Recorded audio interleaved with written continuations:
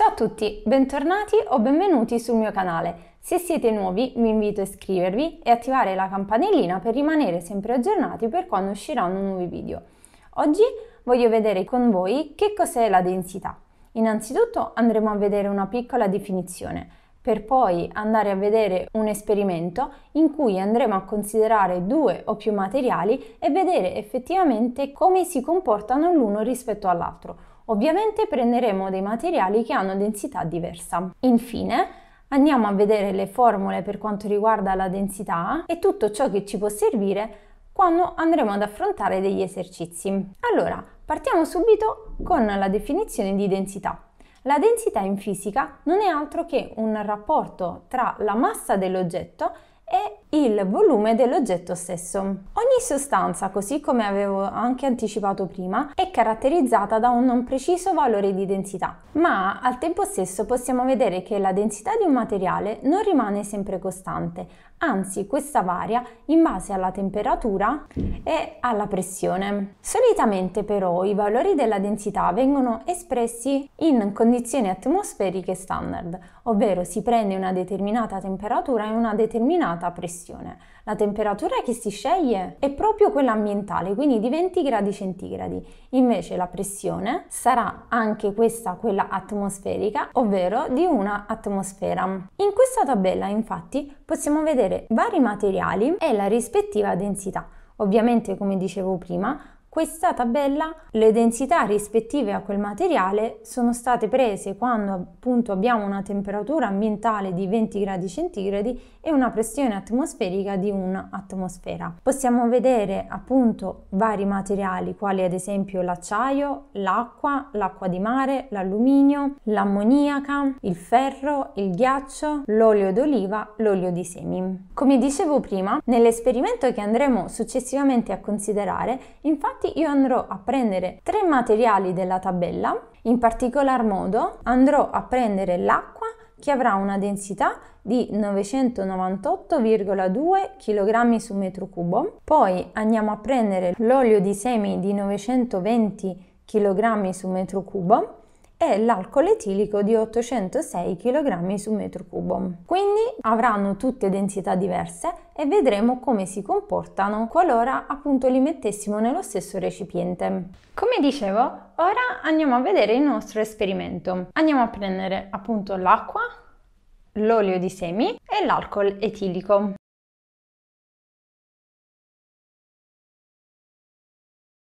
Vediamo cosa succede se vado a mischiare appunto queste tre sostanze, in quanto noi sappiamo che appunto l'acqua ha una densità più alta rispetto agli altri due.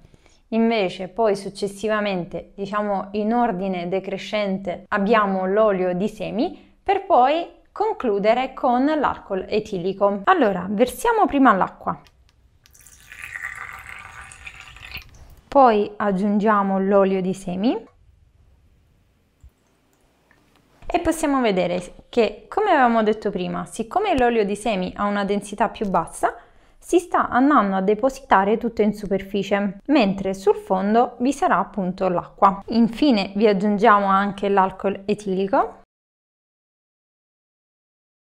Poi possiamo aggiungere anche il detersivo per i piatti. Possiamo vedere che in questo caso invece il detersivo per i piatti ha una densità più alta addirittura anche dell'acqua e infatti si andrà a depositare sul fondo. Quindi possiamo vedere che ogni sostanza in base alla propria densità si andrà a posizionare in un determinato punto, partendo da quello con una minore densità fino ad arrivare appunto al detersivo per i piatti che ha una densità maggiore. Prima di andare a vedere la formula della densità dobbiamo parlare però di corpo rigido. Quando parliamo di corpo rigido intendiamo un insieme di punti ognuno dei quali però deve mantenere sempre la stessa distanza dagli altri, nonostante esso sia in movimento o se su di esso vengono esercitate delle forze esterne. Quindi possiamo dire che se prendiamo un corpo rigido e esso sta traslando verso una direzione, allora tutti i punti devono traslare nella stessa direzione mantenendo però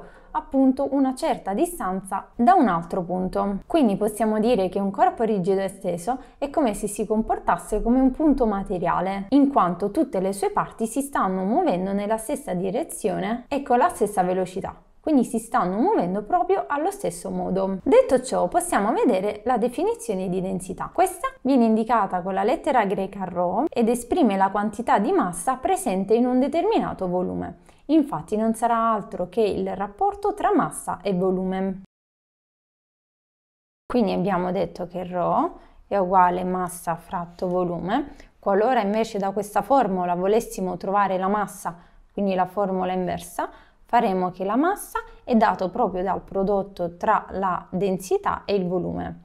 Invece se volessimo il volume, questo è dato dal rapporto tra la massa e la densità. Allora, se noi ci prendiamo la formula iniziale, possiamo andare a vedere l'unità di misura perché abbiamo che al numeratore abbiamo la massa, quindi sicuramente avremo i chilogrammi, mentre al denominatore avremo il volume, quindi un metro al cubo. Quindi l'unità di misura della densità è proprio il chilogrammo fratto metro al cubo e questo è proprio l'unità di misura del sistema internazionale. Ovviamente tutte queste formule che ho appena scritto riguardano tutte un corpo omogeneo e diciamo sono tutte le formule che vengono utilizzate quando dobbiamo andare ad affrontare degli esercizi perché appunto si suppone sempre che si sta lavorando con corpi omogenei. Bene, quindi, visto anche le formule, per oggi terminiamo. Io spero che questo video vi sia piaciuto. Se così non vi dimenticate di lasciare un like e di iscrivervi se siete nuovi. Per qualsiasi altro argomento scrivetelo pure sotto nei commenti in modo tale che io possa farlo successivamente. Noi poi ci vediamo nei prossimi giorni con un nuovo argomento. Ciao!